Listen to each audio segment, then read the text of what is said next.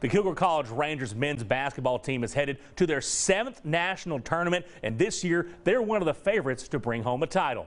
David Gibson met with the team before they made their trip to Hutchinson, Kansas. The Kilgore College Rangers are once again heading to the national tournament, and players say it's an honor to represent Kilgore. Man, I'm more than excited, man. It's actually an honor to be able to go two years in a row.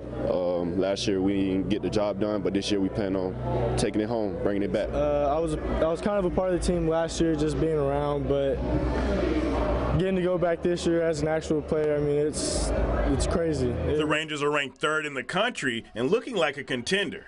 Head coach Brian Hoberecht credits the leadership of the returners to their success. They've made setting the expectations very easy because they want to live up to them, they want to exceed them, they want to keep building off of those things. Kilgore College feels they're battle tested and ready for nationals after facing some tough competition. We've we've came in uh, every game just preparing for a war, and I think I think that's kind of put us over the top on the teams we've played so far. Having each other back every game, um, every practice, just working hard, um, not taking no games for granted.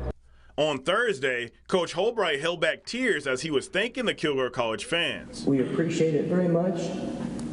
These guys feel it every day, and uh, and I do too.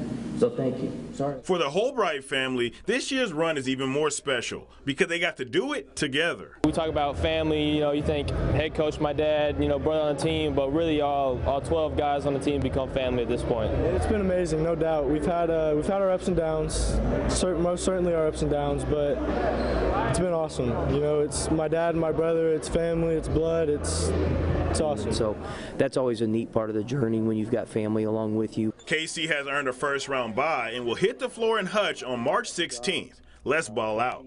Reporting in Kilgore, David Gibson, KETK Sports.